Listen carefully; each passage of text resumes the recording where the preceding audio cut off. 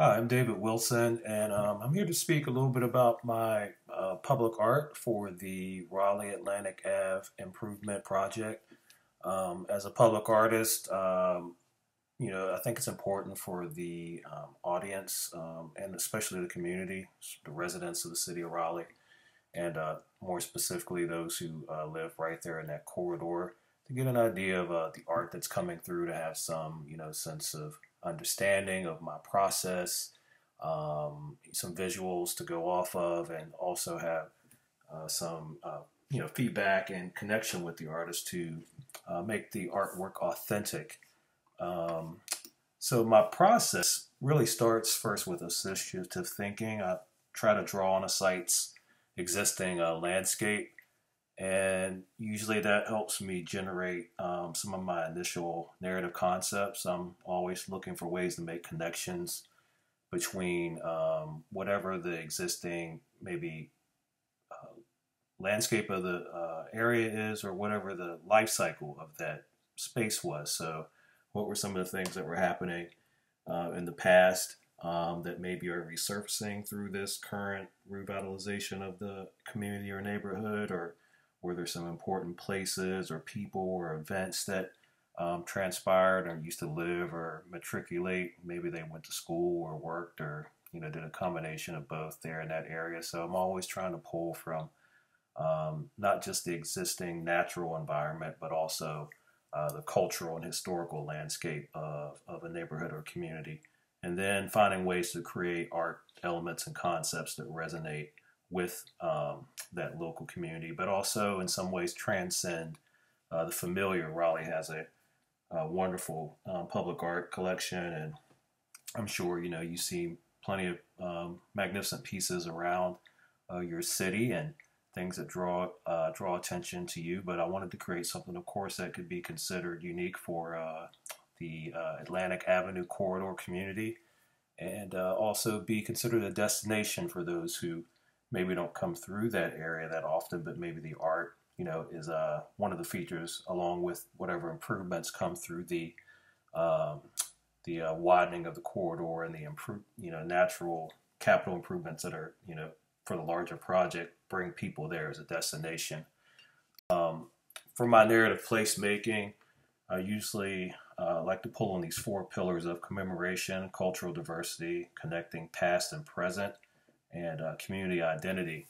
And uh, with that, you know, those are those four pillars usually, you know, help me uh, first and foremost come up with some initial ideas, and um, I'm able to um, run that past, you know, my uh, internal team members, that being like Raleigh Arts and uh, the overall like you know city uh, project partners that are working on um, all the other moving parts of you know how the art will be uh, affixed um, into the actual superstructure, be it a wall or a sidewalk or some type of plaza or greenway. Um, how can this art commemorate uh, the, you know, again, the life cycle of that neighborhood in which it's going? Um, how can it reflect the cultural diversity uh, of the neighborhood? How can it speak to, you know, everybody? You know, public art is for everyone. It's not just for one a specific group of people. So I'm always, you know, keeping that at the forefront of my uh, method. Um, how can it connect the past and the present? And in that way, I, I do that because I want my art, you know, uh, to remain timeless. You know, I don't want it to look dated. Um, I would love for it to be something that can be enjoyed, of course, uh, here in the in the present, um, but also uh, transport, you know, one back in time in, in a sense maybe through uh, photographs or some type of text or even a color and the form of it or a combination of all those things. And uh, not just be um, impactful and inspirational for um, the generation of now but for future generations. And then how can, can it reflect and narrate and celebrate the uh, community's identity? So with all of that in mind you know did my own personal research and also um, had um, some good conversations with community members, and um, you know came up with this you know, re- resounding um, you know ideas or metaphors of uh, movement, um, of course, nature and landscape. Um, you know, lots of trees and green parks. You know, families. Um, you know, children, you know, so really kind of family centered uh, corridor there, and the primary focus being the uh, Brentwood community, and uh, pulled on some of the you know key key elements that were brought up during these conversations, and also through my personal research, were the uh, Raleigh Speedway, and then of course, you know, kind of looking at the uh, existing architecture uh, of the different homes in the neighborhood. Um, knowing that this piece will be sited um, on a retaining wall that will be there near the uh, WakeMed um, section of the Atlantic Ave- Avenue corridor. I thought it was important to uh, maybe pull from some of Brentwood's unique history, um, since the overall project is dealing with you know moving people um, in a safe and rapid way throughout that throughout that space. I thought the history of the uh, Speedway um, was an interesting um, one to some way try to incorporate. And um, I generally not I don't try to make that a real literal uh, incorporation into my public art. You know, so in the sense of not like you know making obvious obvious references to you know cars or tires or you know things of that sort. Um, even in the sense of pulling from the architecture, I didn't want to uh, necessarily um, you know put images of actual homes in there or uh, parks or children playing and trees. I wanted to, again, build it with some type of layered meanings of interpretation. So what you'll see in the uh, the next slide will be the the final art um, that was approved um, for the uh, installation for the public art that'll be created. Um, but this slide is again kind of going more into my uh, methodology and the metaphor behind it. So you know you'll see some abstract color patterns and um, various shapes that rise and fall and you know give you the sense of maybe a vibrational pattern. Uh, who knows maybe when you look at it you might get a sense of the uh, skyscrapers and kind of the architecture of the raleigh skyline. And um, those are all good things because that was really kind of what was driving my design. Um, so you see these rising and falling um, kind of square rectangular forms um, that are connected together and if you pull back from it, yeah, you do get a sense that that is maybe, um, you know, the skyline of the city um, resting in the background. And there we see those kind of bluer shapes there at the bottom and the lighter uh, magentas and light purplish blues um, down near where the white line work is. Um, that's meant to more, you know, show uh, the community, maybe the local businesses and um, residential homes condominiums that you occupy the uh, uh, the living um, areas of families there in the uh, Atlantic Avenue corridor and the Brentwood community. And you have these multiple different squares that are moving throughout the uh, uh, the, the, the form from top to bottom. You know, again, that's to you know denote um, windows and give you a sense of uh, also some type of pattern, additional patterning to the um, to the uh, form. Um, the form also kind of rivals in a way maybe the side profile of a car, you know, a, a Raleigh Speedway car. Again, I try not to make things too one to one, but allow you know people to kind of see what they uh, want to see in it, but still find some connection to the uh, history and the um, the siting of the piece where it is in the community.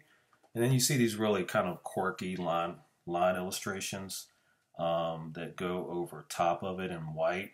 And those will speak to uh, the different, um, the diversity of the uh, people who occupy the communities there in the in the Atlantic Avenue corridor.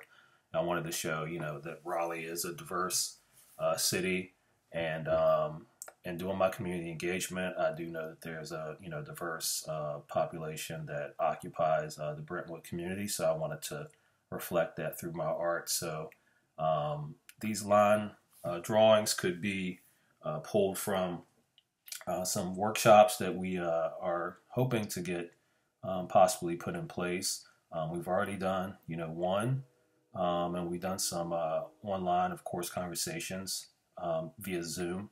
So I would love to, you know, find a way to maybe uh, bring these continuous line drawings that you see in white a little bit closer to home and actually have them be either uh, representational of creations from actual community members or actually, uh, you know, portraits, line art, continuous kind of quirky line drawing portraits of people um, from the community. So uh, with that being said, uh, you can see that this will be, uh, this is just a section of the overall piece, but um, it'll take up uh, quite a bit of that wall and it'll cantilever off that retaining wall along the WakeMed um, part of the corridor.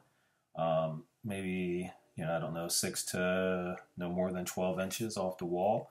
But you'll get a sense um, as you move through it, either walking or driving or on your bike or on a scooter or jogging, whichever way you're kind of moving um, in and out of that corridor.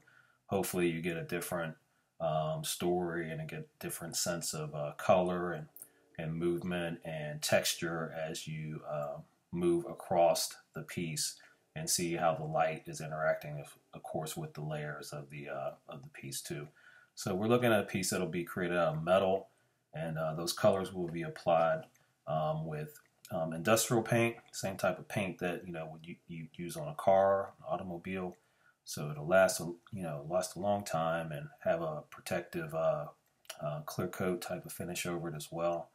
Um, since that'll be a pretty busy corridor with a lot of you know cars moving through there and you know just the temperate uh, weather throughout this region. It can get really hot, uh, of course, as we know, or winters could be uh, pretty uh, mild to pretty severe. So we want to you know use materials that will keep it looking beautiful over the years and um, afford the city um, the least amount of uh, times or opportunities they need to go back out and you know touch something up or repair a section of this uh, overall uh, piece of public art. So with that, hopefully you get a a, um, a better idea of what will be coming for that area, and I look forward to continued conversations. Um, via the City of Raleigh and Raleigh Arts.